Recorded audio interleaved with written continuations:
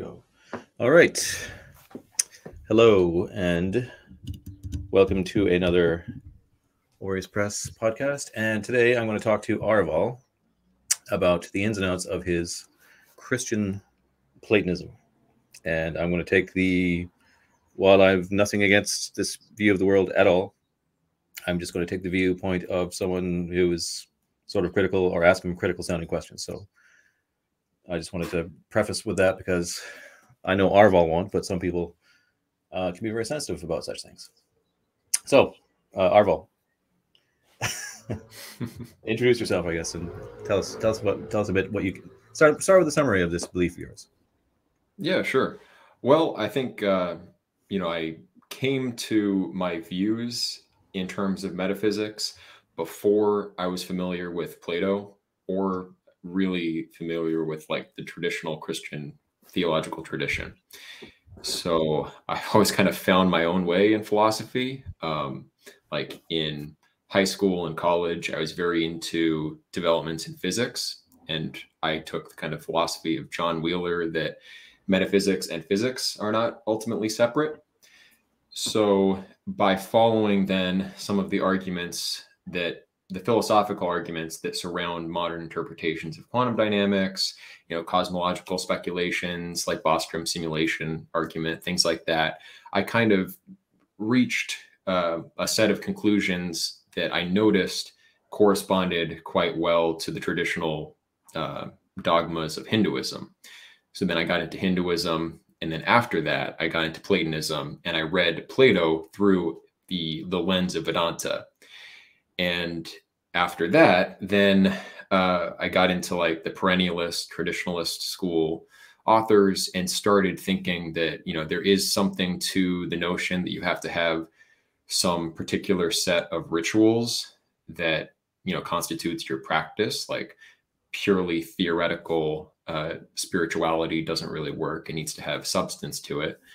And it needs to be a communal experience. And for me, you know, I was raised Catholic and was a believing Catholic on and off. Um, so I that was the natural fit. And in meditation, under some kind of inspiration, I just had a an experience of of Christ and the idea that you have to follow a guru, you have to follow some figure that's further down the path than yourself, lined up uh, very well with the way that I felt about Jesus when I was a kid. So it just kind of matched my upbringing.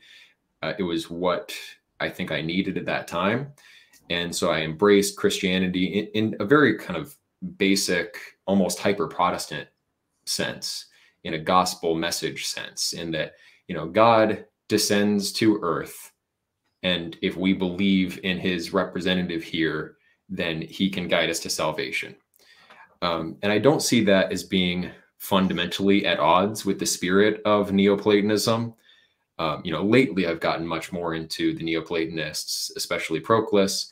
And, you know, Proclus is this adamant polytheist in an age of Christianity. Um, so it seems like, you know, he would not endorse the path that I specifically have taken. However, there are hints in uh, Proclus even that this mode of of worship, you know, interfacing with the divine through a human intermediary is just kind of appropriate. You know, that's the way their scholastic hierarchies worked um, mirrors that idea, like in Hinduism, that you treat your guru as a representative of God. Um, and Proclus was all about that idea that in order to ascend back to your ultimate cause, you have to go through many intermediaries. Um, so, you know, contemplation of the divine itself, it is, it lacks something. It lacks lacks that kind of substance that we need um, because we are very far from that level. You know, there are many intermediaries. So it just makes sense to to kind of worship and think about the divine through a representative figure that kind of embodies the highest values um, you know in in a human life and yeah christ is arguably um, at odds in terms of his ethical teachings with like the idea of the avatar in Hinduism or um, any of the theophanies in Neoplatonism, because of this idea of forgiveness. So that is the one real essential core doctrine of Christianity that I was convinced of for um, like reasons of metaphysical argument that I kind of came to on my own. I came to agree with this principle of divine reciprocity.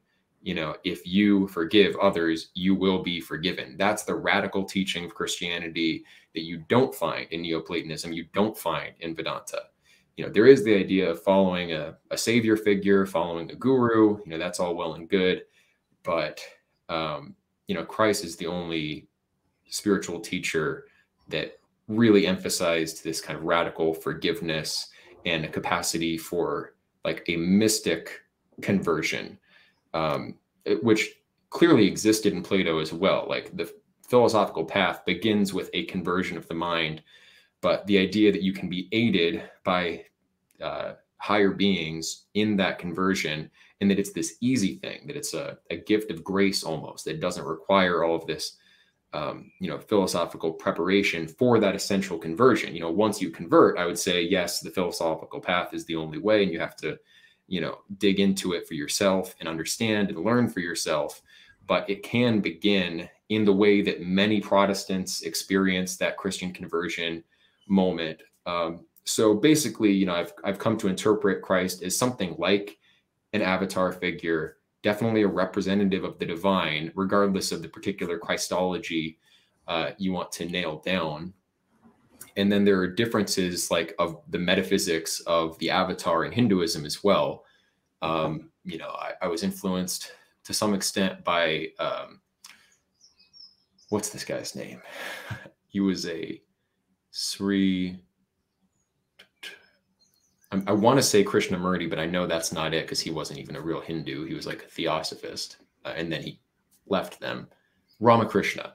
Um, I read the kind of biography of of Ramakrishna and, and his philosophy of his take on Hinduism, basically, where his approach was to experience all of the ritual forms that were available to him to available to him in India, and clearly that's you know quite a number of practices. There are Christians, mm. uh, Muslims, all sorts of different Hindus.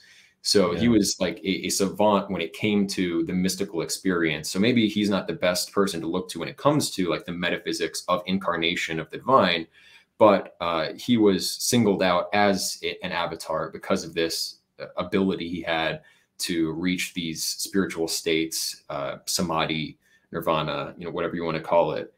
And the way he looked at being an avatar is that you you have just like the kind of dual um, natures in Christ, you have the human nature and the divine nature.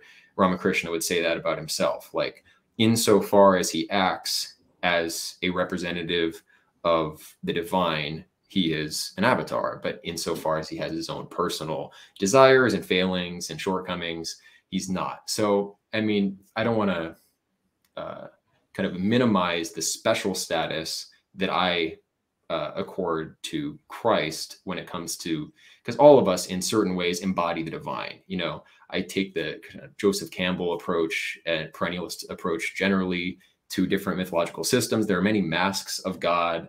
We come to know God through many faces, and we come to know God through each other, even. But there is one best way of representing representing the divine nature in a human form, and I think what Christ did, healing the sick, you know, gathering people together in faith, uh, like spurring people into a new kind of community, um, is what I would expect um, a an avatar figure to do, uh, and then also combine that with the kind of prophecies of the end times. You know, it just seems like a, a a kind of dynamic that you could tap into where you set up a, a kind of preparation for the coming age. So at the beginning of the age of Pisces, uh, Christ has his first incarnation and spreads the message and then allows it to travel through the world, right, and transform the world in major ways. And then he'll come and kind of reap that harvest at the end and institute the new order. And I am of the opinion that you need a new order for the world as a whole. Um, I mean, the elites obviously have thought that for many years. Um, they've talked about their idea of a new world order, but the idea is older in Christianity that you will need this. There are technological reasons why some something has to give uh, when it comes to like cross-cultural dialogues. We don't want another Cold War. We don't want another World War. We can't really afford it. Like the world has to learn how to live in peace. And I think Jesus specifically is that representative of the divine that most people have heard about that the you know the teaching has have spread the furthest. And so that's why i kind of put my my stock in him as a, an act of faith. But uh, yeah that's kind of how i look at it in general. Okay that's extremely thorough. So much so i wish i would expect from you. Um and so much so that it throws me into a tailspin of like you've answered many of the questions i was going to ask and then also open new ones. But um well even just like the, what you said at the end there how do you like if i could just maybe uh, if i could ask you some quick series of questions and just get like briefish answers as brief as yeah, like yeah. summarized answers like so you say so what about isn't there there's more buddhists in the world in the, the christians is, is there not like for example if in terms i don't know if that's true i think there's You know? slightly more christians is there really okay what's the largest religion in the world you know the largest religion is still christianity although islam is growing faster Is it? Okay, I didn't know this. Oh, Okay, that's a mistake on my part. That's fine. So it's fair to say then that you initially uh, you didn't come into Platonism with a Christian bias in the first place. You reached backwards into what you were used to seeing, uh, seeing a use through the, as you say, the the, the guru archetype. But so in your when you you don't have any sort of bias against uh, pagans, and you see sort of see things a bit syncretically. Is that true as well? You're not the type of Christian to think all these people are going to hell, kind of thing. No, yeah, I think uh, the way that most pagans initially accepted Jesus was like an additional figure in their pantheon. So I don't think the existence of the avatar negates the reality of other uh, supernatural beings. Oh, really? Okay, so that would be you. You'd be at odds with a lot of Christians talking like that, obviously.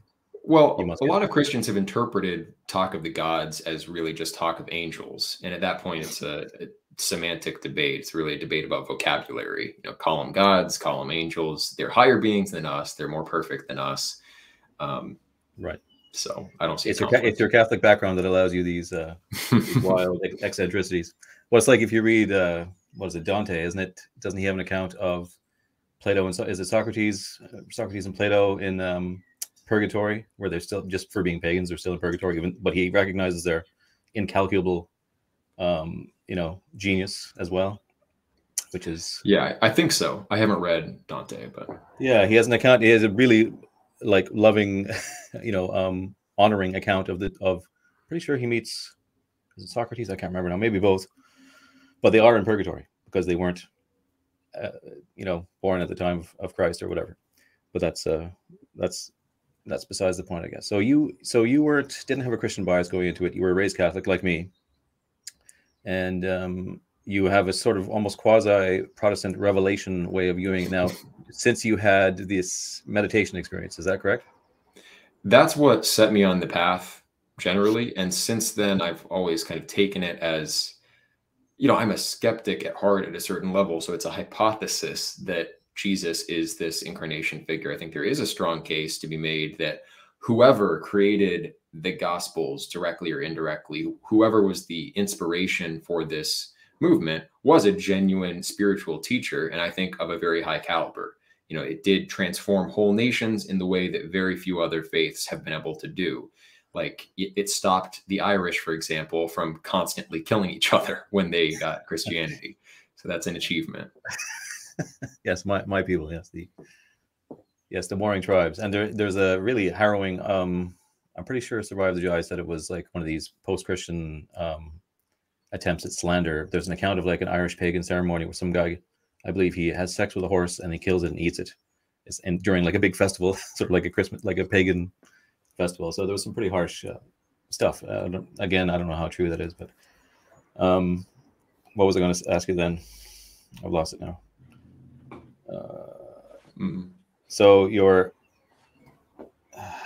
shit. What was I going to ask you? That's Not sure. Thinking about having sex with a horse just threw it out of my mind altogether. Uh, yeah, it's a very striking image. Well, just the point that like Christianity has been efficacious in improving the morals, I think, of the All right, European yeah. nations and and African nations where well, it's that's you have to admit that's arguable. In the very same thing, the forgiveness thing has at least now reached a point. But but the universe, this is the main complaint many pagans nowadays would would have is the universalism and the forgiveness doctrine. They turn the other cheek, which has been taken to an extreme. Now, a lot of people would say and think. What do you think Mhm. about that? Well, it can be taken to an extreme when you, you you give forgiveness without first, you know, hearing the repentance. Like forgiveness is contingent on uh, that turning, on that conversion. You know, that's that's when it's possible to forgive. I mean, forgive in your heart those who do you wrong. I think that's really just like a, a prudent piece of advice to keep yourself level-headed in the face of antagonists like what how does it help you to harbor this kind of deep resentment hatred you know whatever it is i think it's you're probably better off if you don't hold all of that in yourself and do kind of believe that anyone could in principle be converted believe that you know the nature the essential nature of the soul, the core of the soul has something divine in it and everyone is worthy of a second chance down the line. Um, but then like when it comes to practical politics and how you deal with people you don't just let them walk all over you and you have to enforce the norms of your society. And christianity you know traditionally has had this kind of division between the state and the church so that although the church teaches this universal forgiveness the state is given a degree of autonomy and you know our judicial norms i think have been very effective they did grow out of the judi- judicial norms of the catholic church um, so it's certainly Yeah, those were those it- are really Roman. Those are those are original Yes, Roman. that is true. Right, yeah true Roman. Yeah. Um, but in any case, it proves that this doctrine of forgiveness didn't inhibit the establishment of, you know, fair, just legal systems. Um, it also there is a kind of maybe a hidden power in the universalism and like too uh, giving, too forgiving nature of of Western civilization. That's that's why the world has emulated us for so long. Like we have exerted this soft power. We we are still in a position as the west in general to set the tone for how humanity moves forward. Because we didn't have uh, we weren't driven by an ideology that said you know we are superior to everyone else and we're going to impose our reign over them. We had it was a a new kind of imperialism like you know the white man's burden based on this idea that we have an obligation to lift others up. And it's that kind of good spirited you know altruistic um, aspect of the west that has actually given it a, a, a lot of power and a lot of potential for shaping the future. And it's that uh, shaping of the future i think that is important because we're dealing with a, a, scenario where there will be and are technologies that threaten mass uh, loss of life, threaten you know different types of uh, biological weapons being released. Like the our capacity for self destruction is increasing with more advanced technology, and it doesn't seem like that's slowing down. Like it's it becomes easier and easier for fewer and fewer people with less and less money to uh, exert more um, or affect more harm in general, which means we're going to have to find ways of like bringing about a more peaceful state of things between nations, within nations. And you know, I don't know if China is is looking to do that. I don't know of any other imperial actor that's going to steward the world from a universalist perspective. You know, protecting uh, the the sacredness or sanctity of human life all over the planet like it, it does take that kind of universalist um, attitude to exert that influence. And i personally believe that is a necessary thing because of the times that we're living in. We can't have nations going to, to war with one another in perpetuity when we have nukes we have these you know Right. bioweapons What about what about issues of the Malthusian population explosions and overconsumption uh, from pop, from too much sanctity for human life? Maybe would you oh like you know that? excessively feeding Africa and, and well, frankly, frankly, yes, yeah, yeah, yeah. Yeah, well, I mean, it's possible to be misguided in the way that you try to help. Uh, I'm not saying it's always been implemented in the best way. Like, I think it's a fair characterization. Like, white guilt is certainly spiritually a descendant of Catholic guilt, ultimately, and you know that I would see see that as an aberration and a corruption, um, just like there are corrupt versions of paganism. You know, like right. So you've you've kept your profound belief in Plato and respect for Plato through all all your, and you've reconciled it in, inside yourself with everything, not everything, but say your Christian belief. Do you ever have feel hypocrisy or a conflict within yourself between the two over any trivial thing, even? Well, um, you know, there I don't see a lot of inherent disagreement. Uh, the I'm curious about the precise role like where that stacks up in the metaphysical picture that, for example, Proclus paints. Like, where would the closest uh, analogy for the avatar be in that kind of system? You know, is it like the first among souls? Because it that also seems to be the world soul. You know, there is in each. So you would have, you would have being, a belief. Sorry, sorry. Let me just. You would have a belief in the world soul or the super soul. You would. You would. Yeah, I a, think there is. The world yeah. soul is there. Yeah. Okay. Okay. Um, so in each order, there is one first example, one arche of the type.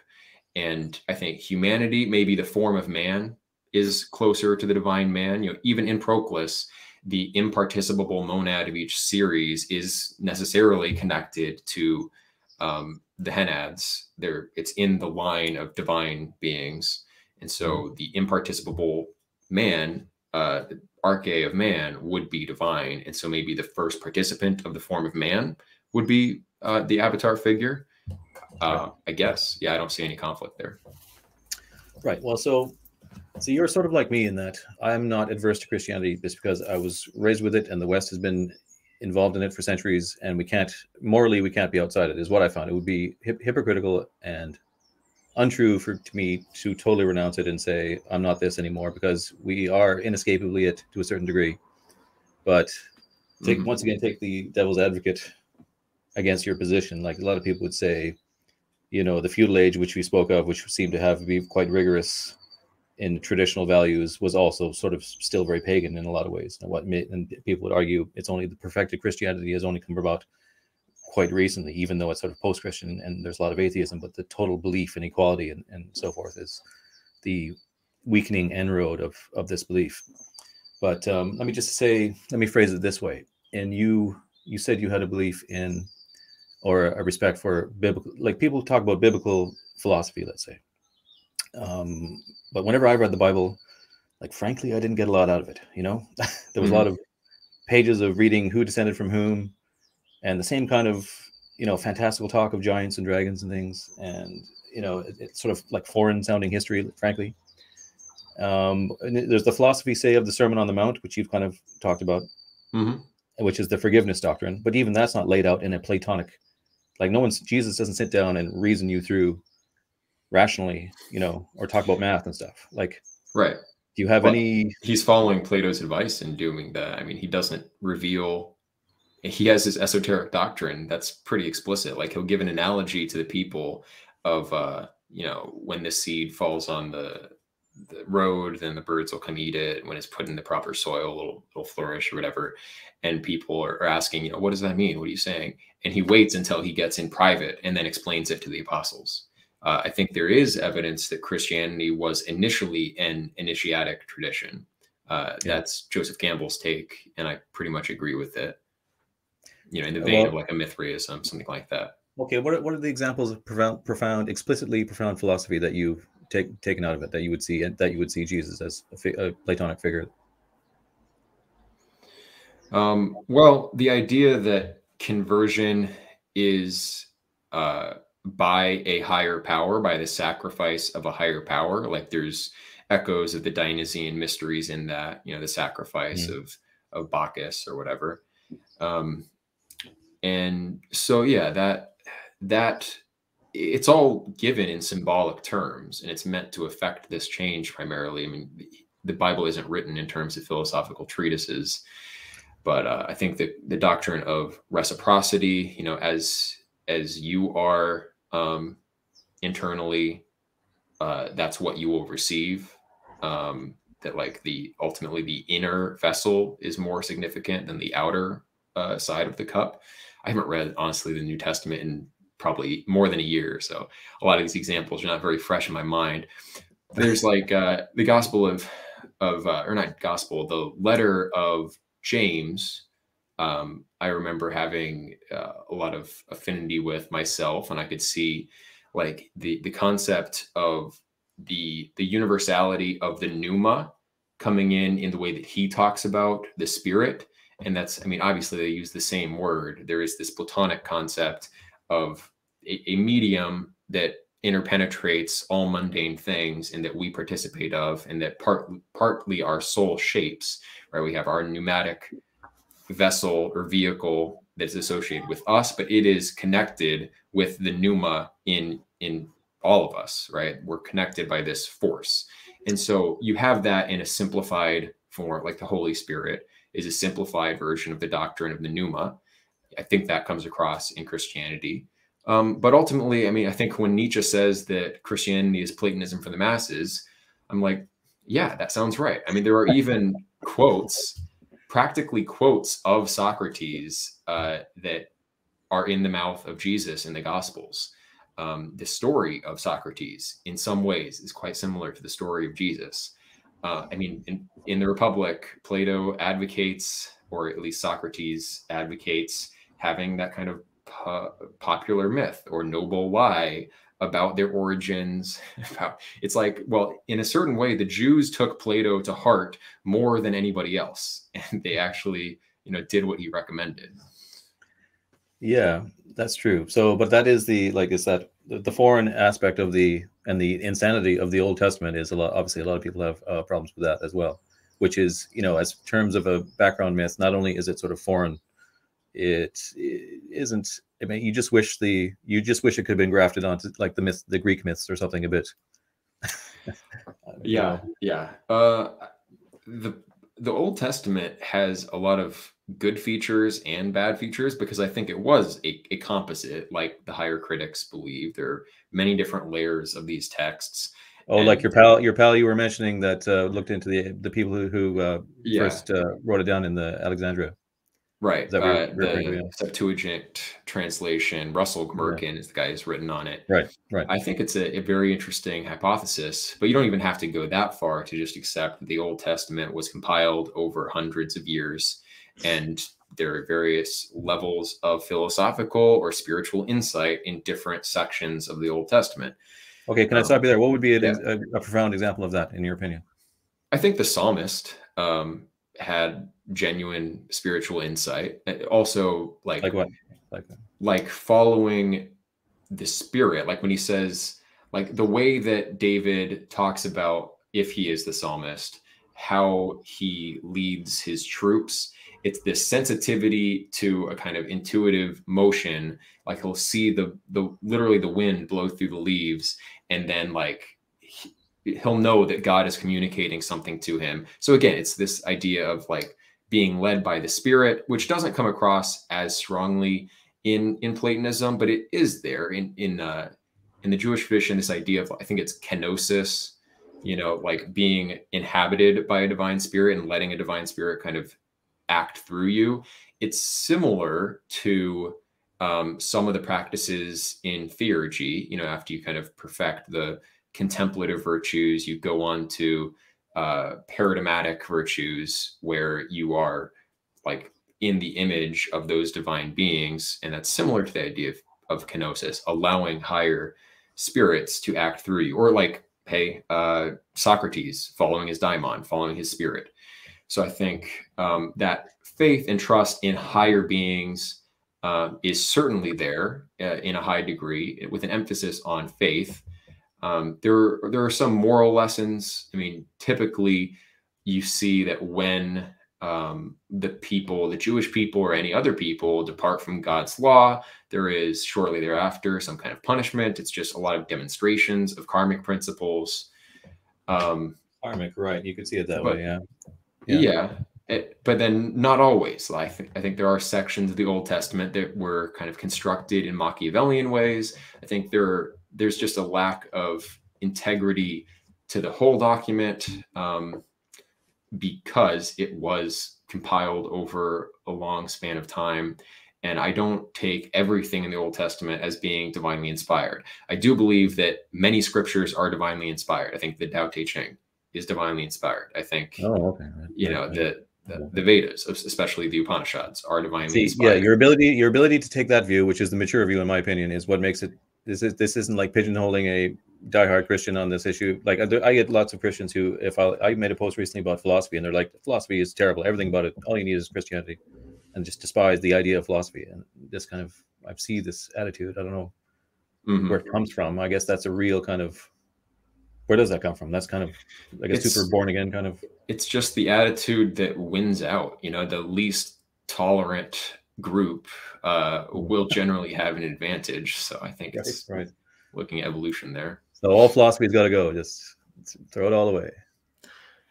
Yeah, well, it it has to be the attitude of a certain type of per like not everyone gets the concept of you know perspectives and worldviews and that we you know there are different legitimate ways of interpreting the world like for some people the narratives that they've heard since they were a child they just are the world. You know, there's no separation between like and God bless Genesis them. I mean, story. Such innocence, such beautiful innocence. but uh, yeah, yeah, But it's a large percentage of humanity that will inevitably be in that mentality, and so for them to keep their moral system um, integrated and coherent, they can't afford to speculate outside of their system.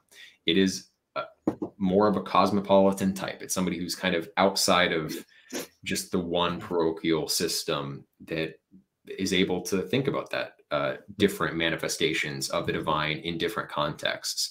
But yeah, not everyone needs to grasp it. And one of the downsides of perennialism, traditionalism, having that more open minded, seeing the divine in many different forms, is that you can't exactly organize a community of worship on those principles. You know, that it's the, the esoteric exoteric divide exists for a reason. It's just how we yeah. have to do it.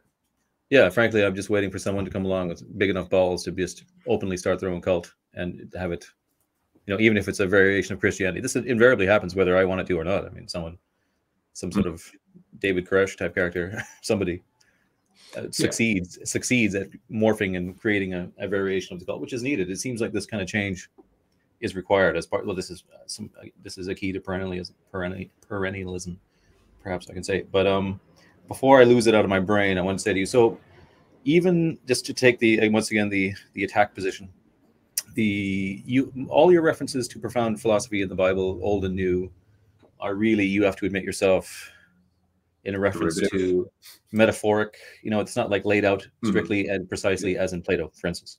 Yeah. And you're making sort of loose associations. This obviously means this and that. And this, you know, that's well known as a what you have to do to get through it or to make to make sense of it in that way, if, if that's what you choose mm-hmm. Um so and you're saying if the Plato alone, you so you believe that Plato alone, like say, I believe um what's his name? Pierre Grimes would I think is one of the first people I heard. I don't know others have to advocate that everything you need is in Plato and Homer um, and then if you are a philosopher, yeah, not all of us yeah, are philosophers. You don't think you, you wouldn't you wouldn't think that it's enough on its own. You that you could interpret or reinterpret it.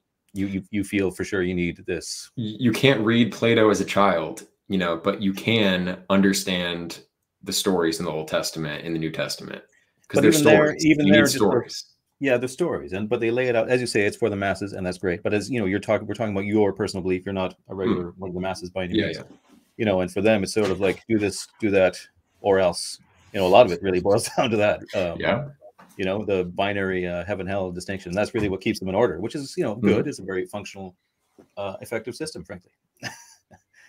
but um, yeah, uh, for my own spiritual practice, no, I, I don't think that's the approach the Neoplatonists took either. I mean, they didn't put this emphasis solely on Plato and Aristotle and explicit, you know, uh, contemplative philosophy.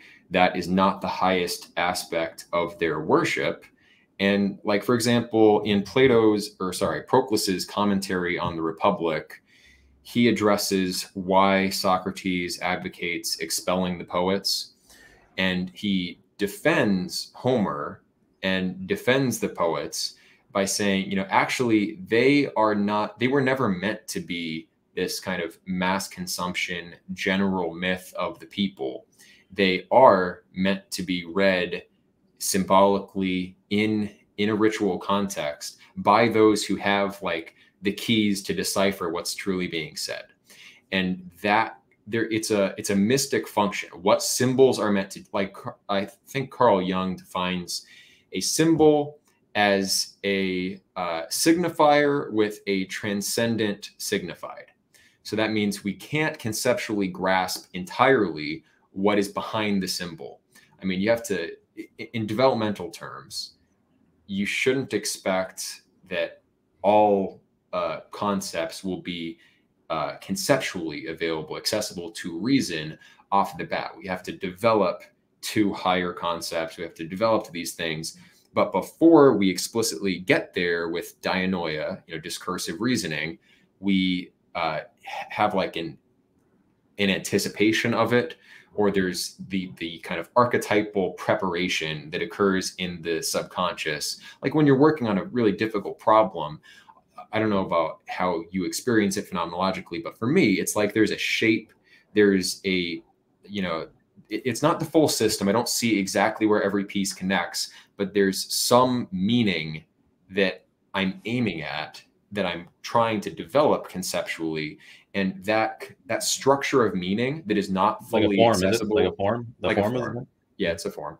Uh, it that is you're anticipating and you're trying to develop it with conceptual reasoning, but it's not there yet. That's a, a transcendent signified, and so it's a, you can only access those sorts of things symbolically, you know, analogically, um, not in direct terms. And there's a place for that. I mean, if you want to kind of push past human limits you can't stick to dianoia and contemplative philosophy. You have to go beyond that and interface with these transcendent things. And symbolic mediation is the only way we can organize right. that activity. I mean, the the the mysteries were all about uh, ritual performance. That everything in the ritual had symbolic content.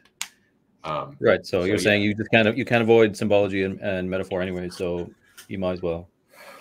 Might well, as well use it. Yeah, you yeah, should use it. Um, yeah, so I think the the gospel um, story it has a lot of mystic content and can be interpreted um, in a lot of ways. Like we're supposed to pick up our own cross. We can kind of see a model of ourselves and ethical ideals in uh, in a way that kind of goes beyond this explicit uh, philosophy, and we can kind of grasp those underlying archetypes of meaning um, more directly by dealing with the symbols. So you don't think uh, Christianity has been dealt a mortal blow by Darwin or in our you know, or Dawkins or you know there's uh, atheism seems very popular. I'm not sure how popular, but and people who claim to be Christian are only really very nominally so, I think. But you don't you do you see it as a growing sort of healthy thing, do you? Uh, no, not in the West. No, there no. are problems uh, coming from materialism, nihilism, uh, evolution. You know, I, the thing is, like there there was a capacity for a Christian tradition, a more explicitly Platonized Christianity back in the day. You know, Origen believed in the eternity of the, the world. He could accept reincarnation, and I I think that kind of Christianity would do very well today. Like Vedanta is doing extremely well in the West. The idea of the avatar, the idea of you know, following a guru, that there are these higher beings, everything. Like people are not naturally averse to it in the West. It's just, yeah, the, the limited kind of constrained orthodox version of Christianity um, rubs up against scientific and philosophical theories we have today. I think because, you know, there were compromises made um, back in the days of uh, Irenaeus, um, you know, the, the very first kind of commentators, you can read their tone, read the way they had their discourse. And I just get the feeling that this was a very hostile discourse because there were there were bad faith actors back then, people who used Christianity immediately for political purposes. I mean, for example, like what was happening in the Roman Empire um, around the time of the destruction of the the Second Temple, as the um, as Emperor Vespasian uh, came into power, the Flavian dynasty, like this was a very censorious regime. And that's exactly the time when the Gospels spread. Um, gospel tracts are one of the most prevalent documents from that period of antiquity, the first centuries AD. There were a lot of surviving instances of it. And they, you know, something like Chris, they would not have just allowed Christianity to spread unchecked you know, especially when it did appear that it might conflict with the state cult. Um, you know, Jews famously refused to worship the uh, emperor when they were finally absorbed into the Roman state officially. Um, so I think I think that I think that's a lot too with like Julius Evola's uh, critique of Christianity in that it it worked, it caught on, spread in a plebeian way, and worked against the.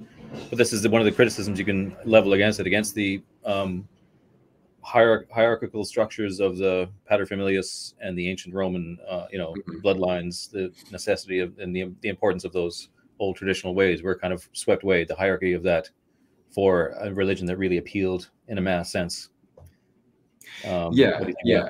I, I think these were, like I said, they were very censorious. They wanted to control the discourse. I don't think the the Flavian dynasty, which was I don't know if I should say exactly what I'm thinking now, but like this is when in Rome, a certain ethnic group got into positions of power. You know, people right. like Josephus were court historians, people of that same ilk, um, yeah. getting into the Roman state. And, uh, you know, they were engaged in social engineering projects. I think they were thinking, they were looking at these mystery cults. They, I mean, a Mithraism, uh, for example, I think came in from Persia, did it not? And Persia is this massive geopolitical yeah. rival. So they see that Persian religion is doing better than the Roman state cult in uh, among the plebeians, among their soldiers, and that's something they have to deal with. You know, so how do you combat this? Well, maybe you sanitize this Jewish cult so that it's not so you know dangerous um, you insert in their scriptures you know things like you know render to caesar what is caesar's you know still pay your taxes guys. Eh, so hmm. you kind of soften it. You you make it something that the state can work with and uh and then they went with it. That doesn't mean though that the mythic substrate wasn't an organic real spiritual movement with power. I mean the symbols wouldn't have had potency if there wasn't some kind of divine inspiration. Like myths authentic myths are few and far between and they they arise beyond the power of like any one individual to create them.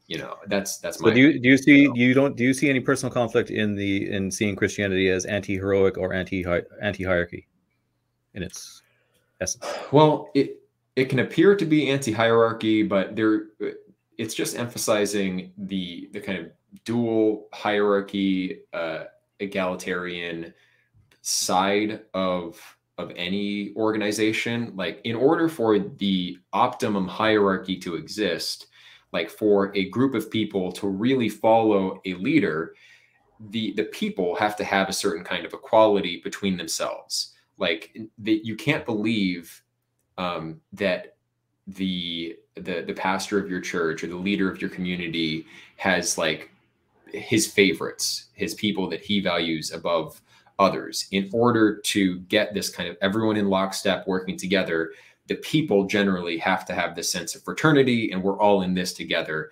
But the reason that's useful is that that renders them all kind of malleable uh, in the face of a single kind of charismatic figure who who pushes the community in a given direction so it's actually very hierarchical like the initial christian communities uh, they they were like the uh, initial Pythagorean communities, right? In order to join these communities, you gave up all your property, and the apostles, like a select set of of men, had complete control over how society was organized for those early Christians.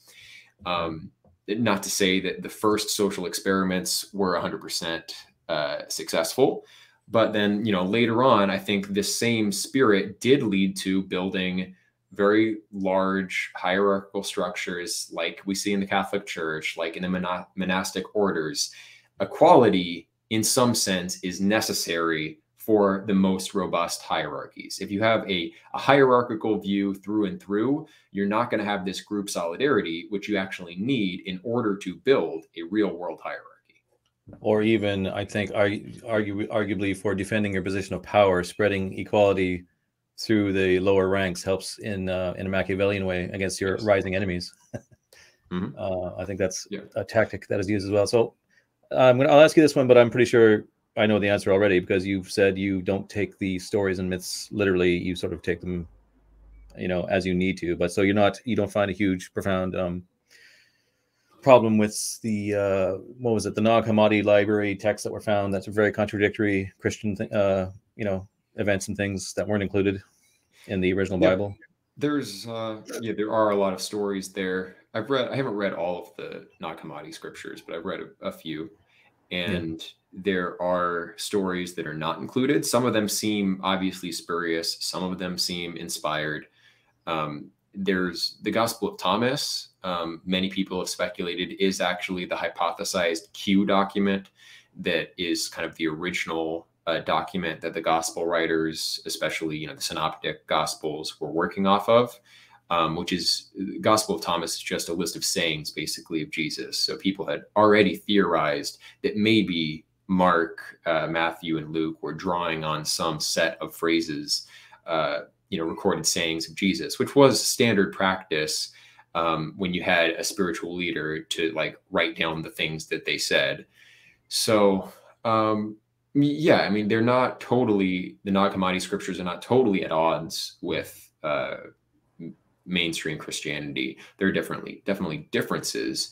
Uh, again, the way I look at it is that all of these scriptures are part of a general rising mythological tide. There there are potent symbols and symbols are beyond any one person you know like collectively just like the individual has this structure of meaning that they're trying to work out gradually and they have an intuition of it a symbolic apprehension of it prior to this explicit apprehension uh, we collectively are working things out and like symbols bubble up to the surface and they have power that is beyond any one person's control. Of course, people try to control and say this set of scriptures are the authorized ones, these aren't.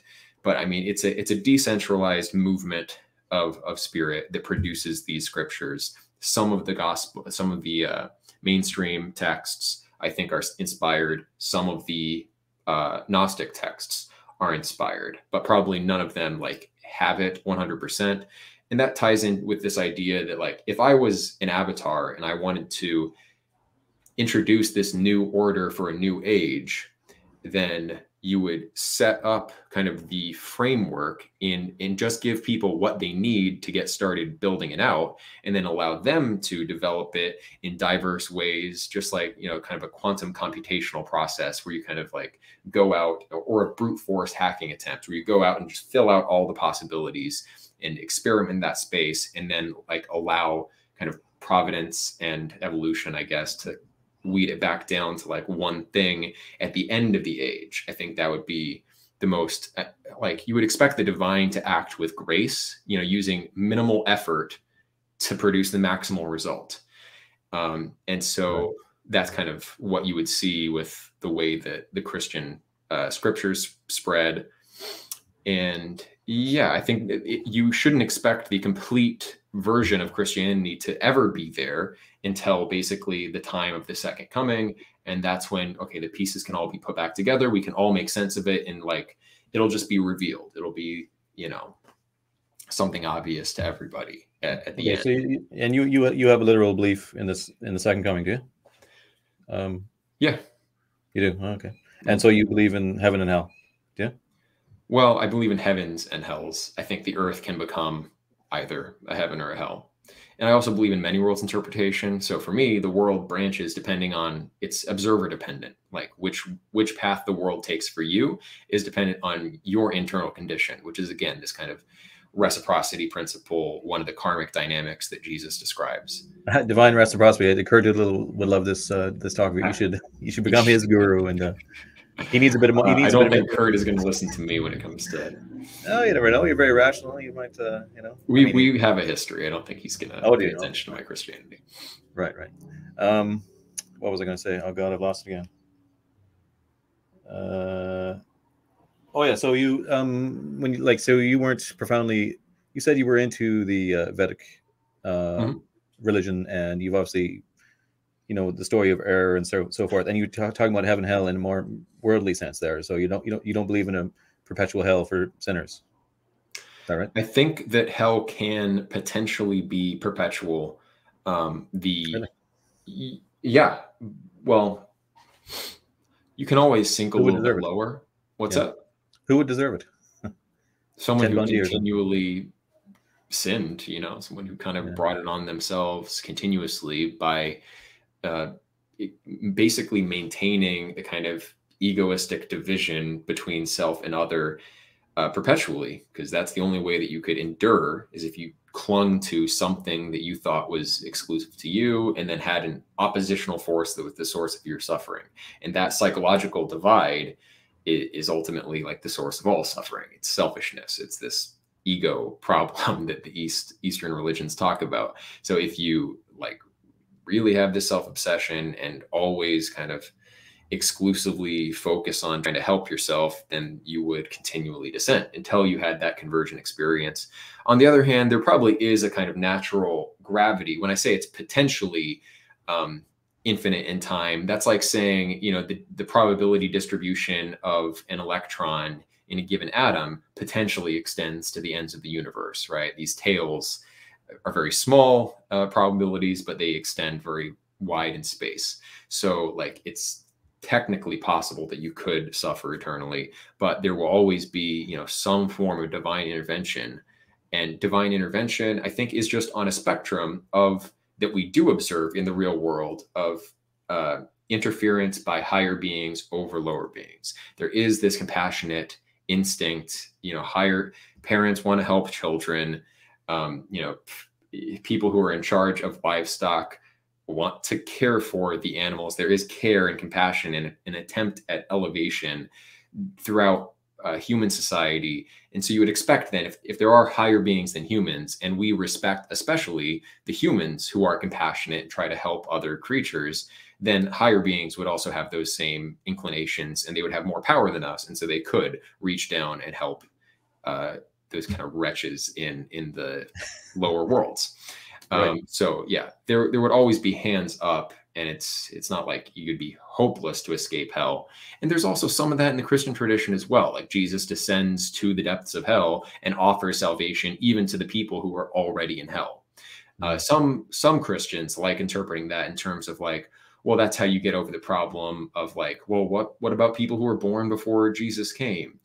Uh, you know, kind of historicizing the whole narrative and like this is something that Jesus did once to make up for the fact that they never heard of him before. So then he goes down and meets them. But it's really like I think an eternal archetypal movement of divine energies descending all the way to the lowest worlds and exerting that suspending pull back up. It sounds Um, very it sounds very Vedic to me. And in fact, Yeah. they have they do. I didn't realize until I talked with one uh, a while ago now that they actually have a concept of hell as well. It's it's not forever. It's a sort of temporary place of suffering. Um, I don't know that was in part of the re- reincarnation idea as well. That they also had it, but they do. Well, yeah. I mean, Yeah. some uh, Vedic thinkers would say the world is kind of a hell. You know, you can take that uh, world renouncing side of uh, the Upanishadic philosophy seriously and say, a bit you like know, Plotinus is a bit that way, but he doesn't think it's a hell. It's just that it's something to be rejected. yeah, it's not ideal, but uh, it's, it's not as good as the good itself. You know, the good wouldn't create something that was the opposite of itself. It would create an extension and emanation of itself. However, it's still better to you know get the original product than than the imitation. Personally, I really enjoy the world. I think it's quite good, despite all the uh, problems. It can be upsetting, but uh, it's better to have a kind of aloofness. Is my personal philosophy. Mhm. and it, it- it's platonic. It's platonic, and it's yeah, a certain kind of um, don't get to it. You there's so, so much of it. I guess it's sort of stoic as well, but you know, it's so many things are out of your hands, and don't get hung up on certain things and enjoy yourself as as much as you can while being um, moral. Um, in the I would say platonic sense. I don't have like morally speaking. So you you would be would you be more biblical or platonic in your morals? Can I ask you that? Does that make sense? Uh, I'm probably more platonic in my morals. I'm more Greek. You know, the, the whole issue of like the lack of heroism in mm-hmm. um, the New Testament. There is something to it. I think because it's all about the kind of inner man, you know, and the heroic act of the inner man is renunciation. It is compassion. It is these things that don't appear, you know, you're not going to see Arnold Schwarzenegger starring in a movie about these virtues, you know, but but they are still an important part of like becoming a better man and that that ideal of excellence you know the real aristocracy i hold uh, to span across like all of human activity and there is a virtue a real moral virtue in just being good at things you know i think a lot of people want to say you know i am a good person because of the way i feel because of my relationships with others but i'm asking okay, but what do you do with your time and how are you making the world a better place? How are you like improving things with your actions? Uh, I made a video not too long ago, uh, basically to that effect that like you can't be good if you're not good at things. That yeah. that connection is can get lost in Christianity, but it's there. Uh, I would say still. Um, in the Old Testament, you get some of those heroic values, but then on the other hand, like the Jews are constantly tricking their their enemies and like in subtle ways like infiltrating the city and and doing shady it's not like uh you know the ancient yeah. near eastern uh war epics would always emphasize these single heroic you know a gilgamesh or like the, the accounts of egyptian wars would say like the pharaoh himself slayed you know 400 uh, men and he brought back the right hands and you know all of these outlandish accounts there's something like that in the bible but he, but yeah i mean we're dealing with a, a decline in heroic virtue from the bronze age down through the iron age and then like the concept of of virtue and you know what constitutes a, a heroic individual became more self-reflective internal and like do i have a fondness for the bronze age and do i want to see that Schwarzenegger archetype uh, actualized. I do, and maybe there's room for both. But yeah, that is I'm more platonic in my values. I think. Yeah, that's good. Yeah, well, that is really the gift the Greeks gave us is that idea of excellence and idealizing things. That is not. Yeah, the Bible is more about perfecting your um, piety and showing your, you know, godliness. Let's say not so much. I can't think of very much at all about doing things in the world. Certainly in the New Testament, I could be wrong but the Greeks are all about that. I mean, that's really what you get from it is that you should be, you know, you need to work hard, work hard at first observing things as carefully as you can to get any kind of remotely clear picture, and then you got to work hard as hard as you can uh, on something to better things, and that with an idea of goodness, and even like while speculating about what goodness is at the same time, so you really get as good an idea of goodness as you can, and you head towards these goals that are unreachable in many ways, but you you know head for them anyways.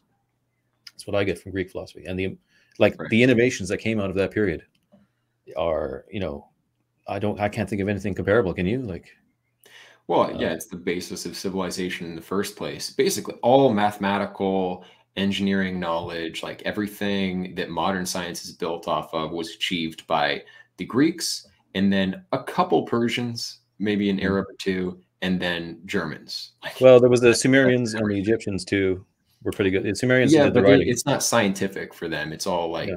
you know worked out over centuries. These yeah. kind of general rules of thumb. Mm. Science begins with the Greeks for sure.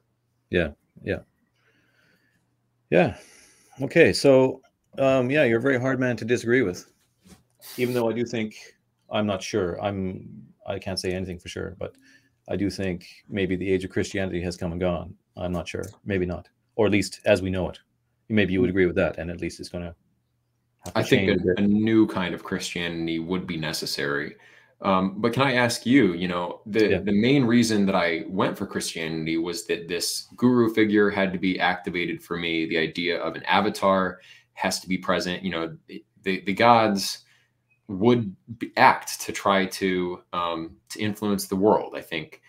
Yeah you know there there has to be some hand up some higher figure that you're looking to in your worship so who is that for you and how do you you know enact that in your practice yeah i have kind of a because i'm because I have to be honest with myself and admit to myself how indecisive I am on the matter. I keep an idea of God where I think of sort of Deus in the even Indo-European, like in the broad sense, in every in every all the religions.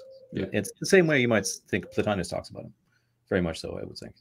And I do sort of at times still even might pray to Jesus out of like a habit and like well, you know, just like it's there.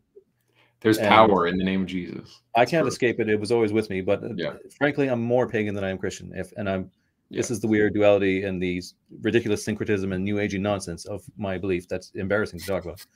But I can't I can't honestly honestly pick anything too specific Hmm. and say this is it. I'm this for sure. And like I often pray to uh, Minerva, frankly, because uh, I am because I am so enamored with the Athenian age. Let's say Mhm. it feels like that was something that was like a guru who inspired me. I feel like, um, Yeah. you know, Yeah, and that is in line with Neoplatonic practice. You know, Proclus also prayed to Minerva, and uh, yeah, the idea that you have your kind of titular spirit, and then the kind of deity that that spirit is in the train of, and that there is some somebody that each of us should be kind of oriented around. But then, you know, there's there's the issue of having a common figure to rally around with larger the larger society. You know western europe was united in effectively a single political entity for a few centuries there because there was this one singular figure uniting all of us. Yeah. where in in rome had to have one singular figure and they just said okay the emperor is a god and that's one way to do it. I don't think we're going to pull that off. So there's something the centralizing principle of having a single exemplar that everyone accepts like yes that is the way to go the Sky Um, Father. sky skyfather but like a man that's more relatable i think than the skyfather is necessary because you can't let this also ties into what proclus would say about the nature of the greek myths that they they are not figures to be uh imitated like you if you acted like zeus acts in the greek myths then you would be a very dangerous member of society. You know, it's not a stable uh, state of things. Like Zeus represents with, those kinds of transgressive acts. You know, the raping and all the kind of having the bickering with his wife and fighting with other gods, and like he slayed his father. Use a patricide. Um, like the, these things kind of represent the the exempt nature of the supreme power and there's something too exempt about it. It's too beyond, and that uh, the two colorful narratives that crop up around those figures are not like moral exemplars. They're not somebody that we could accept. Like, yes, that is moral perfection. So the question is then, what do you have as a as an exemplar of of moral perfection now in our world? Um, uh, I don't I don't think and there's any other candidate, a serious candidate um, beyond Jesus or maybe the Buddha, but uh, Buddhism, I think, has limitations in the way that its institutions have cropped up. It does uh, kind of devolves into a form of hedonism often, you know, where there it's all about this internal mystic experience. And you know, the irony is that's kind of what Plato was responding to too in Athens, the whole Orphic uh, cult uh, complex, the Eleusinian, Eleusinian mysteries being very popular. It was about like experiencing some, you know, deeper reality for yourself, and it was very emotivist and very like you know personally oriented. And Plato wanted to like kind of return to that more ancient form of worship that really elevated the individual beings of the gods and higher beings and like orienting towards the community as a whole rather than like individual experience. So Buddhism has that problem. I mean, Buddhism's who very popular. Buddhism's growing quite popular lately. I've noticed. I've seen.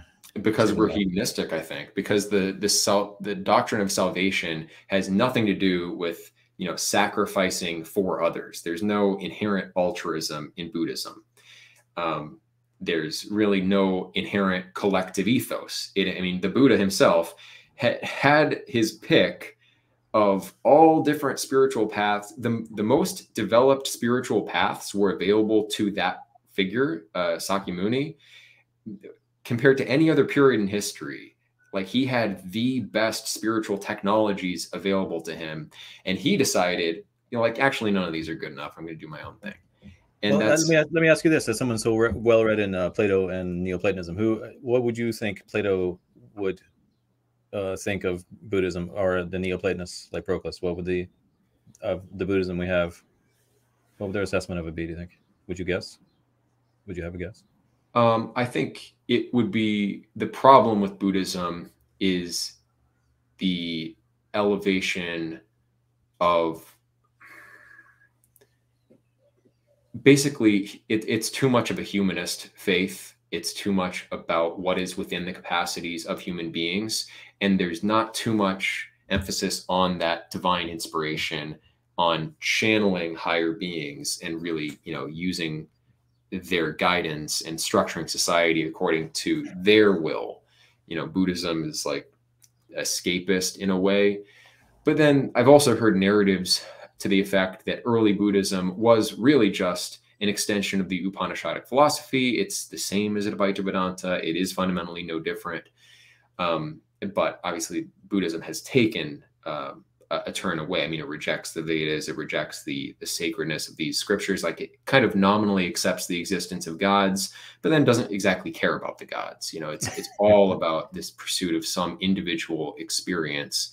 And I think that's what Plato would have disagreed with. Would Plato have disagreed with Proclus? I don't I don't necessarily think so. I mean, I personally I do think that Plato would have seen the utility of Christianity. I think he would have recognized like if he thought of it as a noble lie or not, that this is a the right kind of of myth uh, to galvanize people and and introduce order into the state. And it has been like Platonists have used Christianity in that way. I mean, I think there's a long history of like people who have called themselves Christians, but then kind of really had their heart with Plato. And maybe Plato would have taken a similar kind of tact there um, suspect he yeah, would. Yeah, I don't know. I'd have a hard, hard time with that. Like myself, I don't. Like I said, I've I haven't got a huge amount out of the Bible myself personally. It's only that I have a history with it, inescapably being raised with it. Do I have any link at all? Is what I feel like. Not like when I I, I agree with Grimes that when you read Plato and Homer, and uh, uh, you know, Pyth- you know what we have Pythagoras, Parmenides, any of them. Um, you get you can well, you can find something new every time you look at it, and it's incredibly profound. Mm-hmm and in the way that the Bible isn't, um, frankly, for me, anyways. Uh, so, like, I, I agree that everything you need is there myself. Yeah. Well, and that gets into the deficiencies with the Bible that we have that I mm-hmm. also agree with. You know, there are also Gnostic scriptures. Um, I think uh, if if a church came around that included some of those Gnostic scriptures that like was explicitly a Platonist uh, version of Christianity, then you might be able to integrate a little more substance. And then also tie that back to the idea that Christianity was probably an initiatic tradition where, like, if you wanted to become uh, an initiate into it, at first you would only have access to these milk, right? The idea of like some people have spiritual milk, some people uh, mature past that and actually get the meat of the faith. Well, I think the meat would have involved doctrines that were meant to be kept among the elect. Yeah. And maybe that's where the substance. So it makes sense that if it was this deeper initiatic tradition that was then kind of made into one universal, safe, exoteric thing, then we would have lost the kind of core, what was deeper and more intellectual in it. And there are genuine, you know, intellectual insights in the Gnostic text. I haven't explored them enough. Um, my I haven't really been that focused on the spiritual side, like the religious side uh, of all of this um, in the last years. I've m- mainly stuck more to the kind of contemplative philosophy aspect. You know, what's the best system? How do I put it all together? And then even more recently, I just have come to the conclusion that like the world needs more uh, education on Platonic philosophy, and it needs to be more accessible to people. And so that's kind of just what I've yeah. oh, been I definitely, doing. Definitely agree about that. Yeah, and I do agree that it needs a. It's best best described in a vehicle of faith, which which they wisely grafted it into Christianity. You know, and, and that was, as you say, it was a, a good and successful thing to do. But then, you know, you honestly have to, for my part, I have to honestly say, well, that is the best part of the Christianity was the, the Platonism they grafted into it. For me, anyway. But, but you, you you accept that, you realize that, you see it as a vehicle well you have a genuine faith as well you have to uh, you, you well, well. but also like it's the platonism but you could equally say it's the perennialism it is what is eternal that christianity reflects that makes right. it good not what not what's uh, specific to it right right you can say that yeah and in terms of what Platon would have thought, I mean, the the parts that are the, the thing that is difficult about Christianity is also its great strength, I would say, which is this sort of chosenite, as you say, derived from the let's say Mithras and other cults. The you know you have to be in the cult uh, or you're going to hell. And it's this rejection of that, like we see the more widespread, like I was complaining about earlier, the widespread rejection of pagan thought and philosophy, which can often occur with that, where you've got to draw the line. Uh, that's its problem and its strength, I would say. What do you? Well, there, yeah, uh, it that us and them, chosen people, dynamic. That is the one thing that the Jewish Jewish scriptures explore more than anybody else. Probably the, the problem of identity and like having a tightly defined, coherent thing that your people sticks to and keeps them in, in existence. And the idea is that their traditions, their God saves them. And meanwhile, the peoples around them who are led astray by different cults and different ideas and different human wisdom are all scattered, right? But this one, you know, the the story of the the people over the centuries is an interesting aspect there. I see that as kind of like metaphorical for our circumstance. We're all like, uh, you know, I can kind of identify with the exile who doesn't have, you know, their their homeland per se, and is trying to cut out that new Israel for themselves. I can see like that it's a perennial struggle um, for uh, for sovereignty for a people, for like an expression of of that people and it it's it's interesting because it's such a parochial idea and yet it does universalize because we're all in our own you know exclusive groups. We're all in our own tradition. We're all looking for our own tradition. So it is a universal feature of the human condition to be parochial. And the jews exemplify that aspect the chosenite us versus them aspect.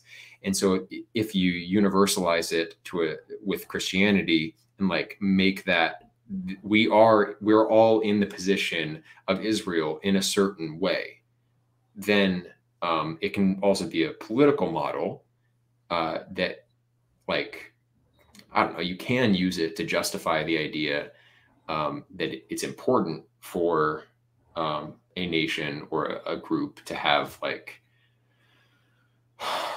um, I don't know, like uh, self, like if if it matters for the Jews, if it matters that they aren't impeded on by imperial forces, they aren't cast into exile, they're given a place.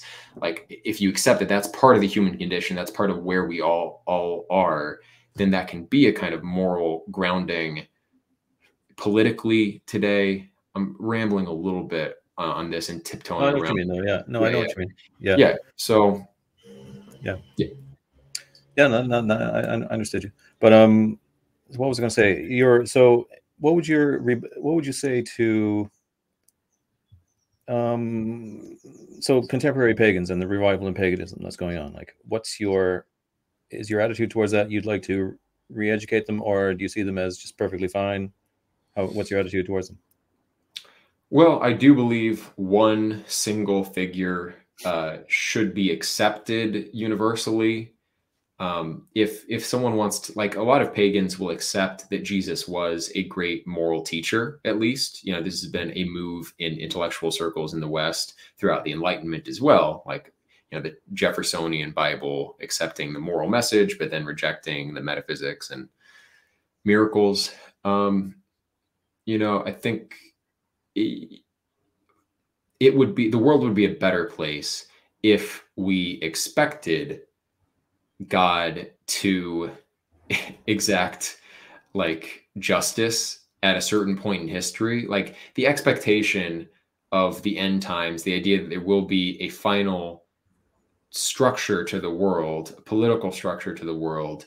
It like orients us towards like that fate of the world aspect, the eschat- uh, eschatological element of the Abrahamic faiths is a, a real driving force of them and keeps them potent and keeps them active in looking at like the broader world situation. And it's not like that's completely absent in, I mean, it's there in Buddhism and Hinduism as well, with Kalki and Hinduism and uh, Maitreya in Buddhism, the kind of final figure that comes at the end, exacts justice and then institutes the new order.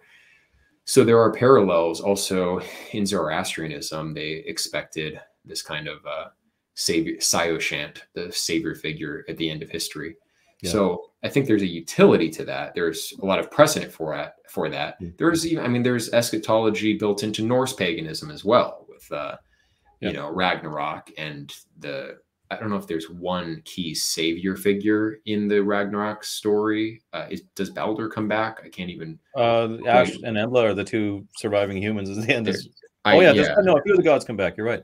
A few of the lesser ones I don't even remember their names, but yeah they come there's a few of them come around again i think yeah. so for i look at that and i always have as like their humanity knows something at a deep level about the fate of humanity that it needs to express to itself in symbolic terms and we've had various ways of representing that and this like universal salvation universal judgment uh, end of history talk yeah. is it's not something i think that can be discarded and there's right. like practically no way of preparing for that end state for like navigating towards that end state unless we can agree on something. So paganism doesn't have that the necessary ecumenicalism to like shape the the future of the planet i think. Whereas christianity because it's an inherently centralizing religion. Okay, so you would see you would see it as flawed. You you wouldn't you wouldn't just be happy to see that they're not atheists. You would see them as flawed and needing needing to be worked on in your opinion.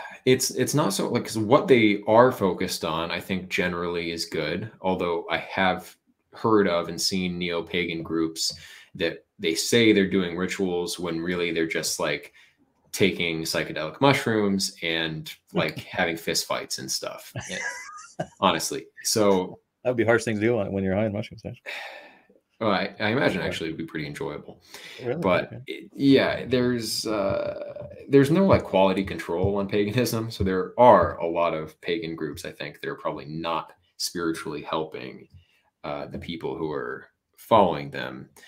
That's an issue. But I think there there are earnest, good faith pagans who are trying to worship the gods, worship higher beings, um, you know, live their life in accordance with the values of their ancestors and all of that. I think they can keep. That's all good. Even the the names of the individual gods.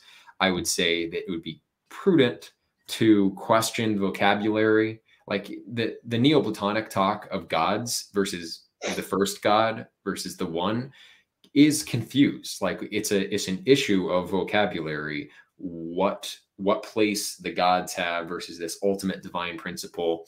And you can use different words for it and you can accept that okay th- this level of beings the henads and proclus system is just the gods and then beyond that we can call it something else.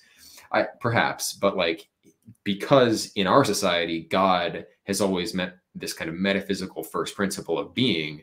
That's like aristotle's definition of god. That's the way we've thought about god in the west uh, it might be a good idea if pagans like chose to call uh, the gods, the traditional gods, by some other name. You know, I, I don't know what that name would be, but that's just an issue of, of terminology. Like I said, I don't care what they call these beings. I accept that those beings exist. There are higher beings. They are those higher beings are closer to the highest being, which I would be totally comfortable calling God. I think Christians would be comfortable seeing at least an affinity between the concept of the one in Platonism and God the Father.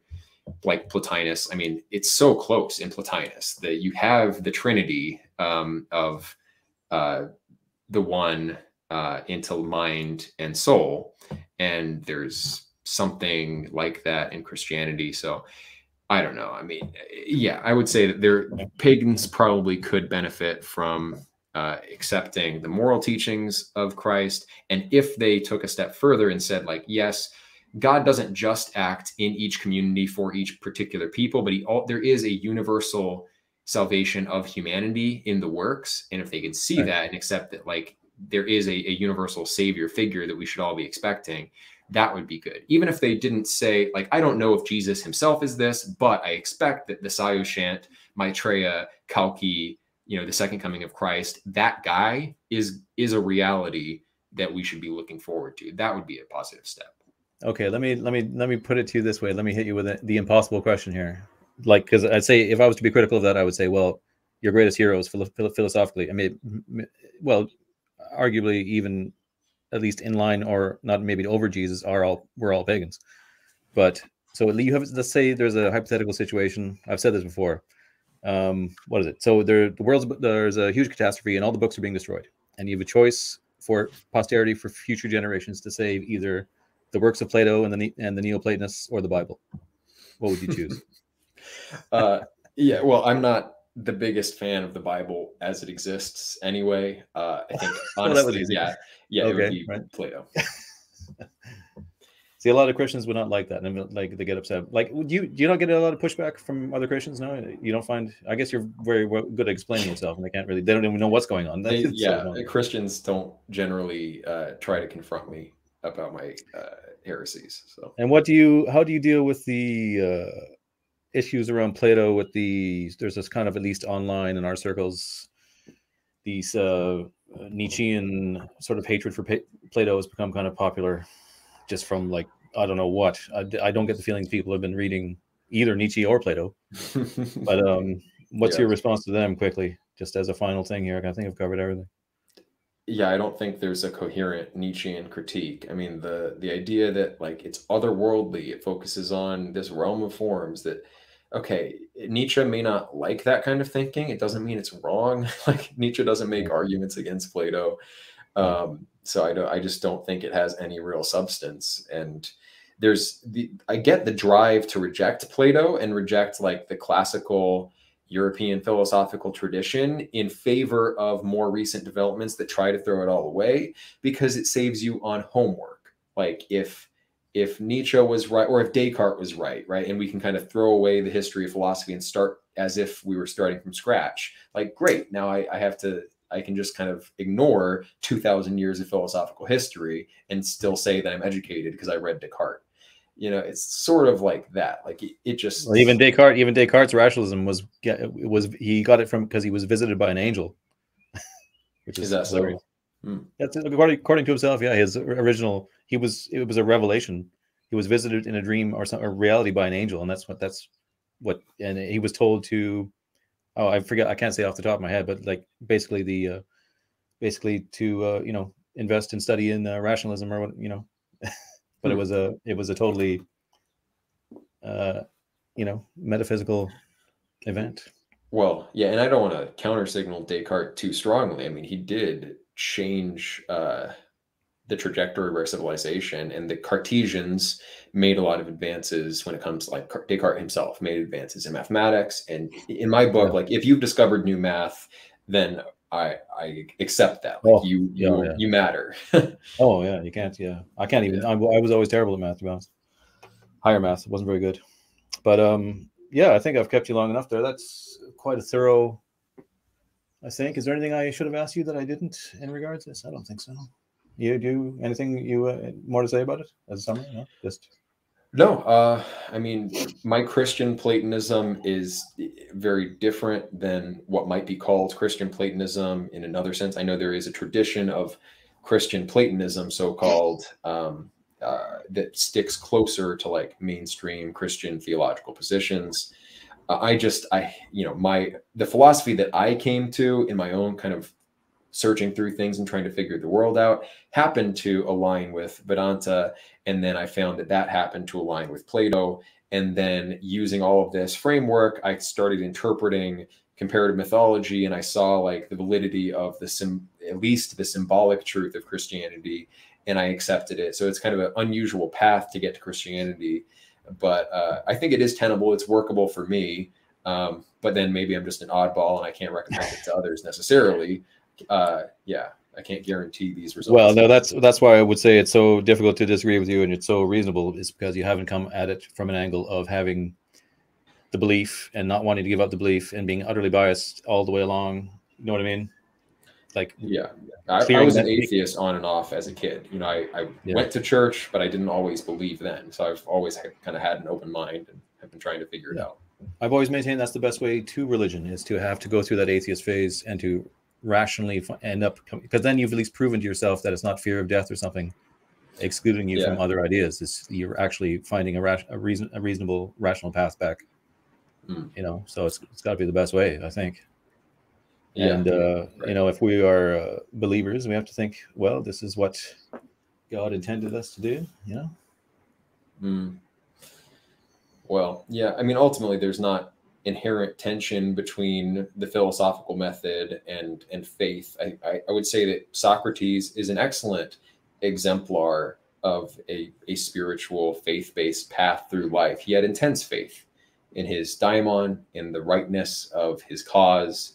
You know, you it, you need faith, but that balance of faith and doubt is like you need doubt for certain things to avoid mistakes. You need faith to really to even build a system. Like you have to care about it at least. Like even if you treat it at bottom as a hypothesis potentially still like it needs you have to have a sensitivity at least to like the idea that maybe some higher thing some form some god some daimon is speaking through to you and you have to be ready eh, willing to to accept those energies uh, but yeah, at the same time, not like going full schizo and just believing any voice that comes into your head. Uh, so faith and doubt, Platonism works it out. I think uh, we can apply the way that Socrates approached his faith to the way we might approach a future kind of Christianity. That might be a good model, but we'll see how it goes. yeah, yeah, I totally agree. So, um, thanks a lot, Aarvoll. That's very informative, and uh, yeah, thanks for thanks for coming on. Is there anything you're? I don't know if you want to. You're doing anything you want to plug or anything or? Uh, well, I have my reading group. So um, there's I have two YouTube YouTube channels. One that I've had for a long time that I post random things that I'm thinking about, and then one that I just started called Understanding Plato. You can find my Skype and Patreon links in both. Um, if you want to get involved in reading groups, you can message me on Skype. I've been doing signups through Patreon because I am trying to get more professional with this. And one day I'd like to build a school. I think a new Platonic Academy is in order, and uh, if I can help forward that at all, I will. So anyway, that's uh, that's what I'm currently doing. The reading. Yeah, I believe you, you'd be a good man for that job. You'd be a good man. Well, thank you, Brent. It was very nice talking with you as well. Yeah, and uh, thanks for coming on. We'll talk to you later. All right. Goodbye. Bye bye.